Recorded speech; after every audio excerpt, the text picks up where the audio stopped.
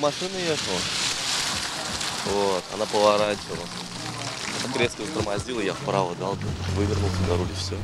ДТП произошло неподалеку от пешеходного перехода. Несомненно, что кроме откровенной невнимательности водителя, причиной могла стать и мокрая дорога. Вскоре выяснилось, что Калину никто не подрезал, а молодой человек просто не учел того, что перед едущей впереди машиной могут внезапно появиться люди. Пешеходки тут, походу, человек переходил. А дорога слякоть же. Вот. Получается, Дистанция. вот так, вот так объехал и сюда что ли? Нет, он тут стоял, он поворачивал сюда, а я за ним ехал. И я вот так, короче, чтобы ему в жопу не выехал, я сюда так объехал в стол.